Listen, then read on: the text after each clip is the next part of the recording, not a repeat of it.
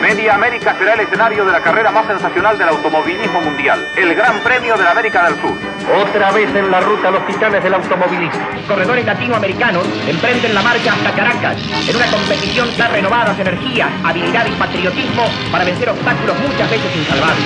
Y este documental que fue, eh, fue a través de un largo tiempo de, de realización, este, la verdad que bueno, tiene bastante repercusión y está cumpliendo nuestras expectativas porque bueno, fue primero declarado de interés cultural de la nación, este, en ese momento también pudieron condecorar a los que estaban con vida en ese momento, eh, de interés cultural de la ciudad y bueno, ganó el premio Working Progress en Mar del Plata. Estamos ampliando un hecho tan importante como, como una carrera con Fangio, Los Galves, Marimón, Marsilla, que tocó más de seis, eh, que tocó seis países y que tenía un impulso de, del presidente Perón este, tratando de divulgar la, el sentimiento de unión latinoamericana. Y la expectativa, yo creo que bueno, la, en, en, principio la tiene el aficionado al, al automovilismo.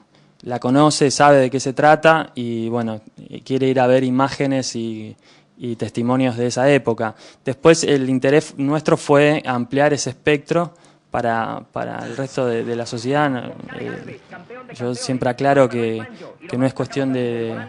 Intentamos que ese sea un hecho eh, cultural, social y político, como para complementar bien la historia y que no quede como algo anecdótico, como una simple carrera de automovilismo. Fue mucho más, que se pongan de acuerdo este, los países, seis países para poder organizarla, ya es un dato muy significativo.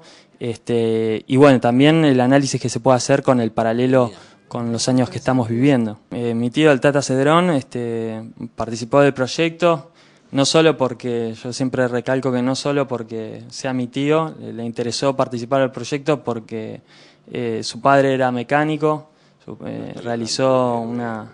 Eh, él tenía una, un auto de fórmula limitada y, y, participó en algunas carreras. Y la verdad que, que cuando le fui con el proyecto se, se, se, entusiasmó y quiso participar. Y bueno, la, la, la verdad estoy, es un lujo tener la, la música del Tata y del cuarteto dentro del film.